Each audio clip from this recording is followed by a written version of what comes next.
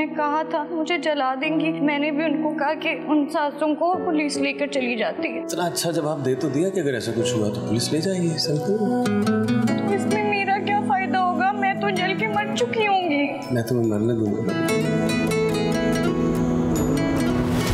तुम ना बस मुझे एक बार खुर्रम से मिलवा दो। मैंने उसकी आँखों में हाला के लिए तड़प देखी है।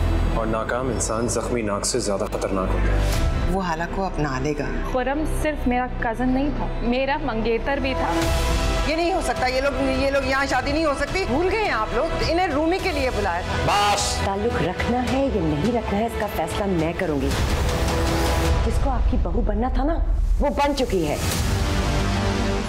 सेंसोडाइन प्रेजेंट्स मेरे हम सफ़र। देखिए हर जुमा जीतो पाकिस्तान लीग के बाद। सिर्फ़ ए आर वाई डिजिटल पर।